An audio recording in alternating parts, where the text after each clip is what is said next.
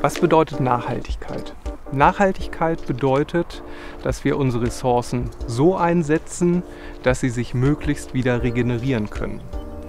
Auf Meravis, auf den Betrieb unserer Wohnungen, Wohnanlagen bezogen, bedeutet das, dass wir unsere Heizungen, die für Raumwärme sorgen, die für Warmwasser sorgen, so einstellen, so optimieren, dass sie möglichst wenig Energie verbrauchen.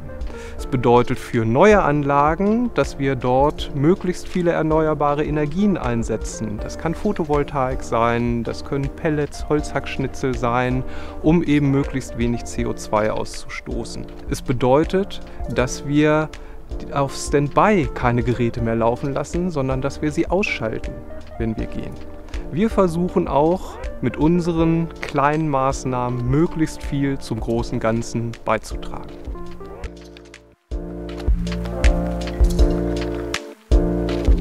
Thank